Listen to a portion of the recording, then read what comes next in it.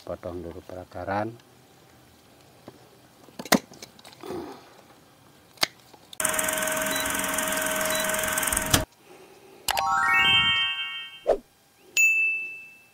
Halo assalamualaikum warahmatullahi wabarakatuh. Selamat pagi. Kali ini saya akan mencoba membuat bonsai kelapa. Nah ini kelapa ini ditanam sudah hampir satu tahun ya tapi tidak pernah terurus. Kita mau coba coba kita perhatikan dulu dari perakarannya lihat perakarannya ini. Sudah cukup bagus. Nah, tinggal sekarang akar-akar ini coba kita potong dulu. Jangan sampai nah ini kita potong dulu perakaran? Karena kemarin begitu saya cabut langsung saya rendam. Karena cuaca di tempat saya sangat panas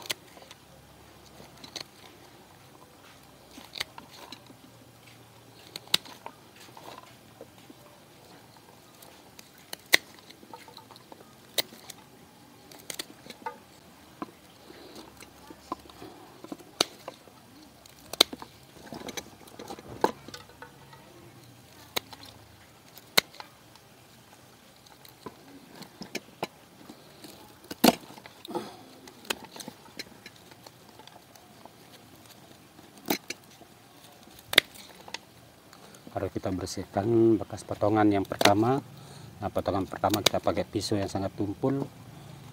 Nah, kita khawatirkan nanti potongan-potongan ini akan terinfeksi ya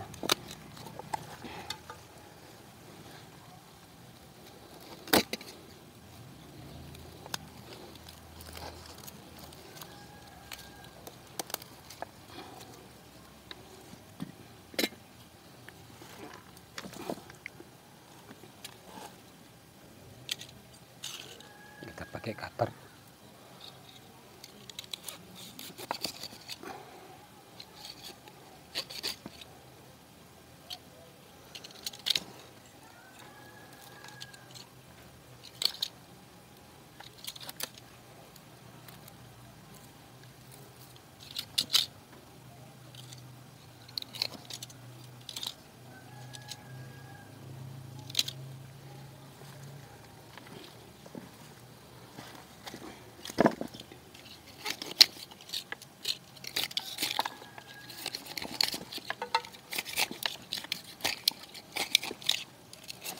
kita ratakan dia takarannya supaya nanti pada saat kita dudukkan di dalam pot eh, posisinya lebih bagus.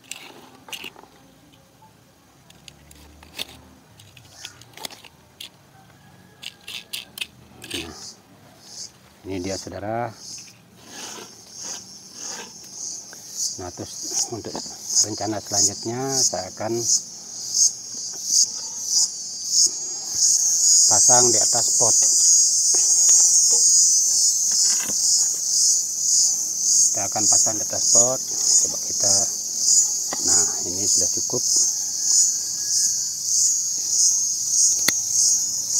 Kemudian untuk bekas-bekas potongan dari apa namanya pelepah yang sudah mati kita akan buang kita akan habiskan bersihkan dulu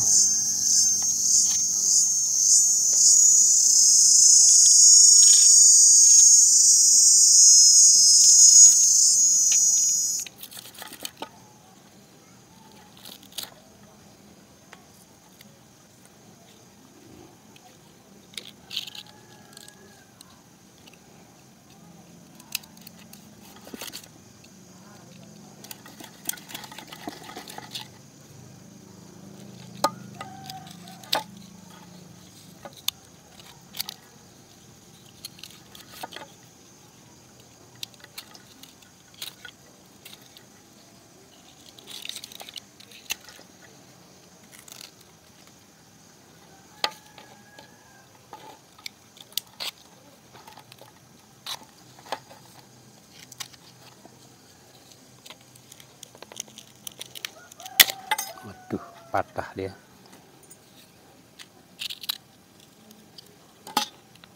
Ini sangat keras ini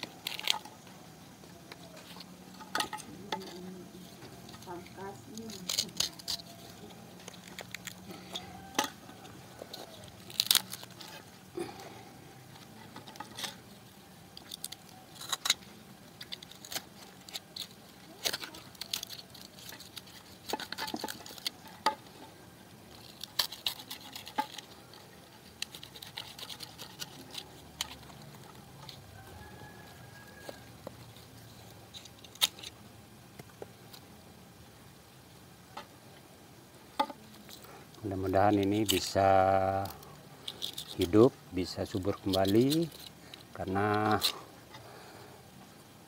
bonggolnya ini udah cukup besar. Tinggal kita hidupkan dan kita suburkan ya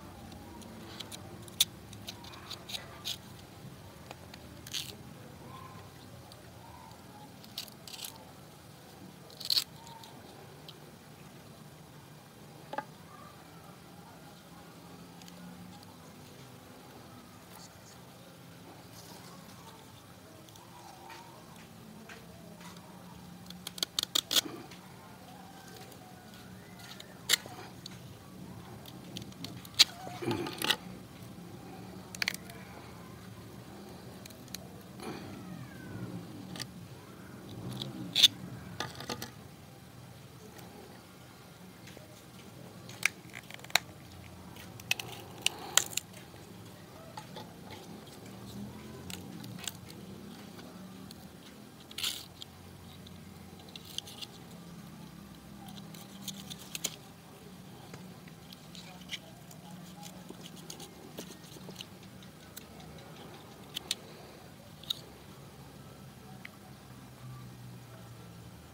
Nah, di sini kita harus lebih berhati-hati karena ini sangat rentan patah karena sangat sangat lunak.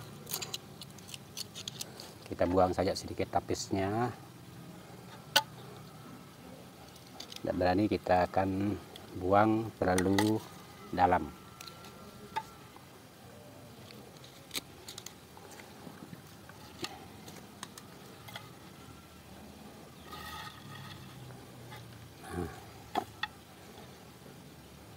nanti kita akan ikat saja di sini dulu. Jangan sampai ini bisa patah.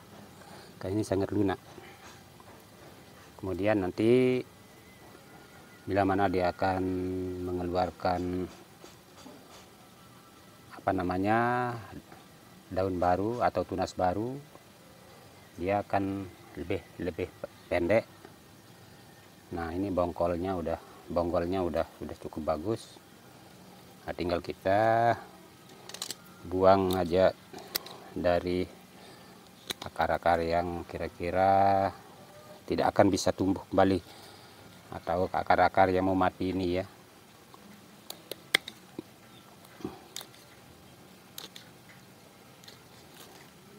Nah coba kita persiapkan media tanamnya dulu. Ini harus kita penuhkan dengan media tanam yang yang subur. Ya, di sini saya sudah persiapkan sekam ya tapi sekam mentah ya tapi sekam mentah yang sudah cukup lama. Nanti kita campurkan dengan pasir, kemudian tanah dan eh, kuhe. Ya.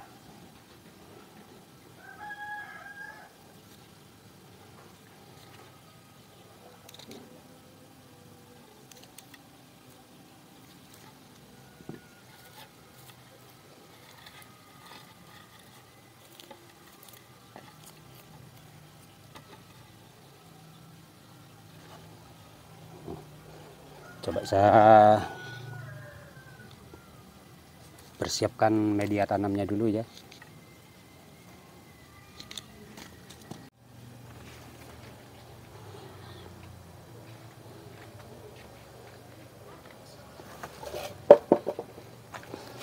Nah ini media tanam yang akan saya pakai ini dari kohe kambing yang sudah difermentasi.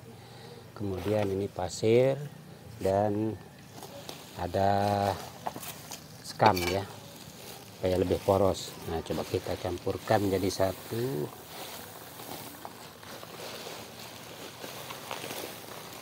Tapi skam ini sudah sudah sangat lama.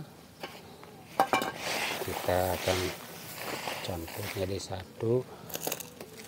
Kemudian pasir. Karena biasanya kalau kita lihat di pantai-pantai pertumbuhan dari kelapa yang ada di pantai sangat subur. Padahal hanya medianya atau tempat tumbuhnya itu hanya pasir tok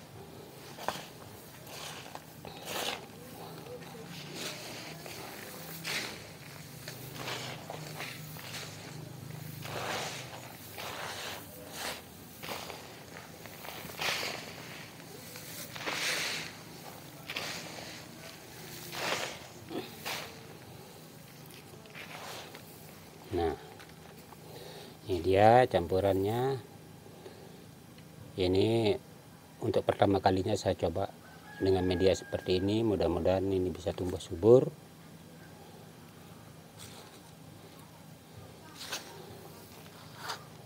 Kita mulai saja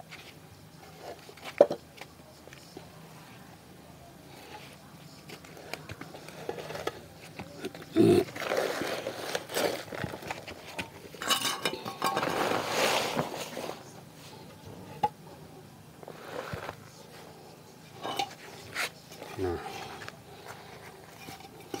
kita isikan dulu.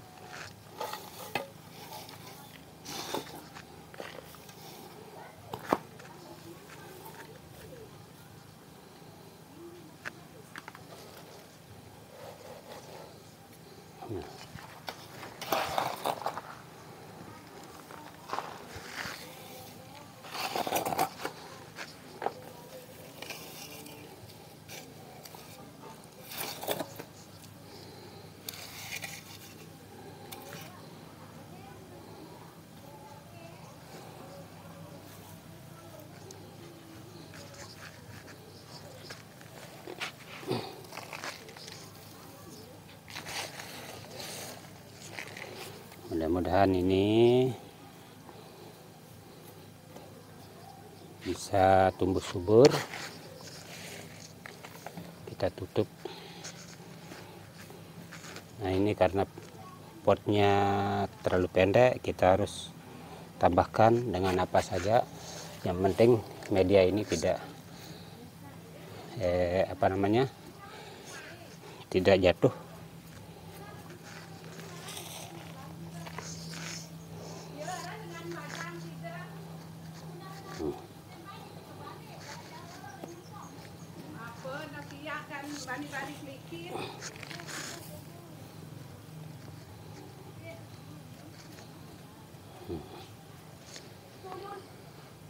ini. Dan selanjutnya kita untuk menyimpannya lebih ke yang lebih apa namanya lebih tidak terlalu panas ya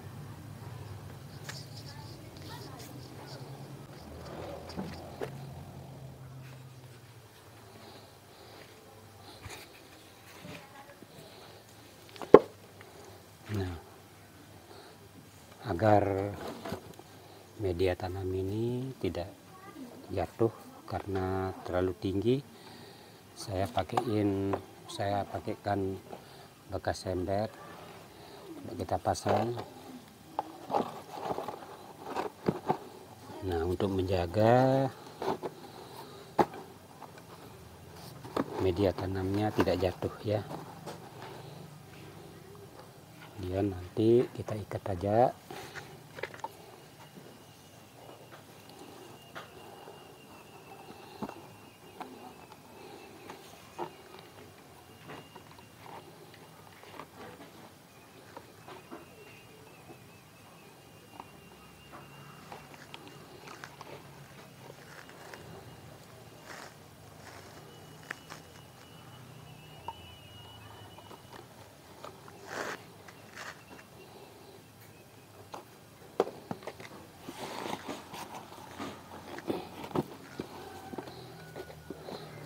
kemudian kita isi dulu biar lebih rata.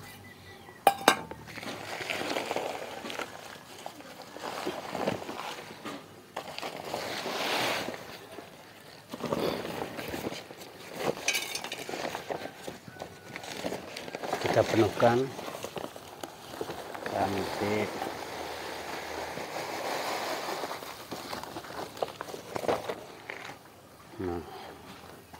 sudah cukup.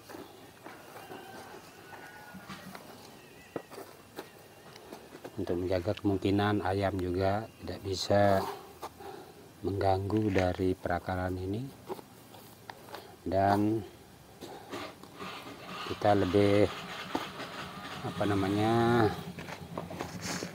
bila di dalam penyiraman lebih lebih bagus karena langsung tidak eh, apa namanya akan tidak mengikutkan tergerusnya tanah oleh air siraman.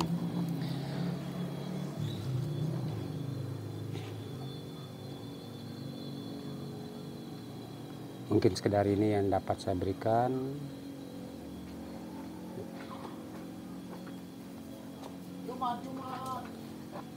lebih kurangnya mohon maaf bila konten ini dirasa cukup bermanfaat. Mohon kiranya membantu kami untuk subscribe like dan silakan di share untuk teman-teman yang lain untuk khususnya untuk para pemula. Terima kasih. Assalamualaikum warahmatullahi wabarakatuh